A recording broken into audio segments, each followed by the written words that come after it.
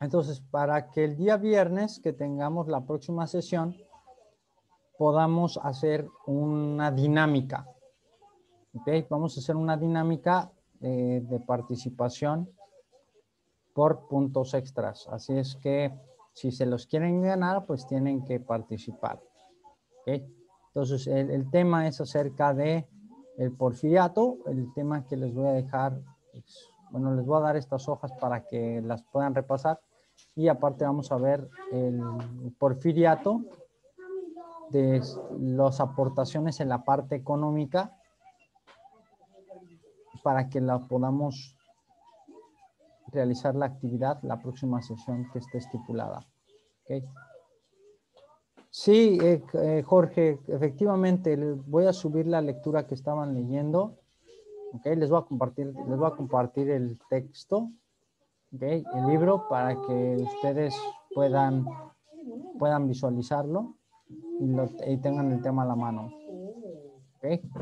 Entonces, próximo viernes hacemos un- vamos a hacer una dinámica en la cual van a poder ustedes participar y poder ganar puntos de participación o puntos extras. ¿Ok?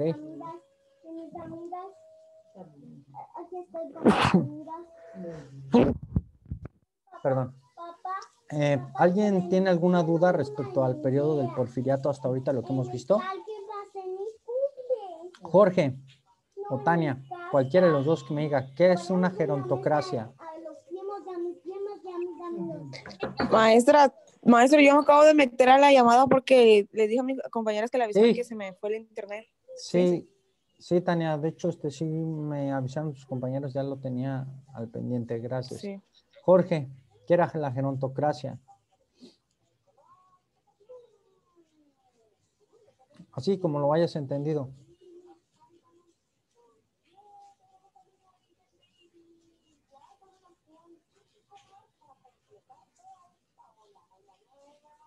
¿Qué había pasado con el gobierno de Díaz? Era cuando los gobernantes ya estaban viejitos, ¿no? Exactamente, Abigail, eso es, gerontocracia es el gobierno de los viejitos, exactamente. Que significaba que se hacían, se, los que estaban en el poder y eran viejos y entonces se volvían, me- podríamos llamarlo tercos, se volvían tercos en las decisiones y autoritarios, ¿sí? Entonces, ustedes simplemente fíjense, ¿cuál, es el comportamiento de los viejitos normalmente? ¿Cómo es un viejito? Se vuelve necio, se vuelve testarudo, se vuelve obstinado, ¿sí? Y se vuelve en ciertos aspectos hasta infantil, ¿sí? Y entonces ahora imagínense un gobierno como el que tenemos actualmente. Eh, podemos decir que el gabinete de ahorita de, de nuestra presidencia actual es parecida al de Porfirio Díaz, ¿sí? Ustedes nada más revisen la edad de los que se encuentran en el gabinete de gobierno actual. Y se van a dar cuenta que la mayoría de estos personajes rebasan los 60 años de edad. ¿Sí? Entonces hablamos que es una gerontocracia. Vivimos en una gerontocracia, es decir, que los viejitos son los que nos están gobernando. ¿Ok? Bueno. em, Va a haber pregunta para... Es, es cierto, Telma, también, ¿eh? Que eh, lo, la experiencia, la experiencia que van adquiriendo las personas adultas es muy importante y es muy válida. Pero también, como te digo, esta experiencia es importante, pero también si tú les decías, oye, es que, es que esto que está así pasando es que está mal, que te dicen, no, es que no está mal, ¿por qué? Porque yo lo digo y porque, entonces, ¿qué pasa? Se vuelven, se vuelven autoritarios, ¿sí? Pero también es muy cierto que los grandes gobiernos fueron gobiernos de viejos. Por ejemplo, Grecia, acuérdense que en Grecia los viejos tenían un papel muy importante dentro del gobierno, Mira del peste, papá. ¿ok? Eh, bueno, vamos a dejar la sesión hasta aquí el día de hoy. Nada más voy a hacer una última pregunta. Annalise, a ver si me puedes contestar. hasta el año de 1904, ¿cuánto tiempo duraban los ciclos presidenciales?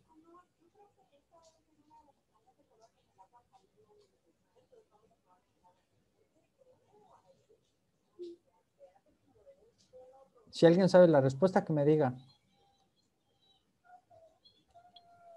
No eran 20, profe. No, ¿cómo 20 años?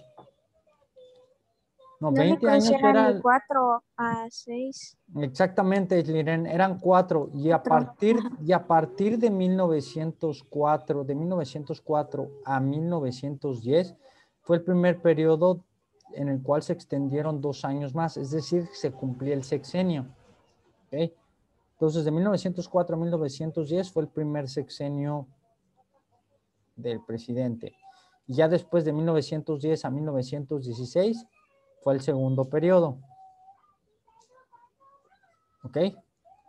Bueno, nada más que agregar, chicos, que tengan una excelente tarde. Nos vemos, repasen y yo les proporciono el material para que puedan hacer la actividad el día viernes. Que tengan muy buen día. ¿Nos pasó lista, profe? Sí, Aileen, cuando estaban participando les iba pasando lista. Ah, ok. ¿Sí? Me faltas el día de hoy. Está Insi. Está este Brito Rendón. Está Campos Miss. Está Ricardo Canseco. Arturo Canto. Ana Giselle Canto. Cindy Castillo. Julio Cerda, Andrés Chávez, Johnny Jiménez, Eduardo Padilla, Ojeda Kawich y Góngora Dafne son los que no tuvieron asistencia el día de hoy. Ok, todos los demás tienen asistencia. Buenas tardes, chicos. Que descansen. Ok, gracias, maestro. Bye bye. Bueno, profe. Bye bye.